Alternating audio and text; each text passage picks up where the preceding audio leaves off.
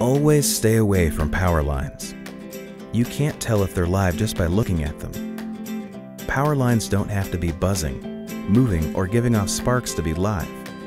They could look lifeless and harmless, but still have high voltages running through them and energizing the area surrounding them. If you touch a power line or even get too close to one, you could get seriously injured or electrocuted.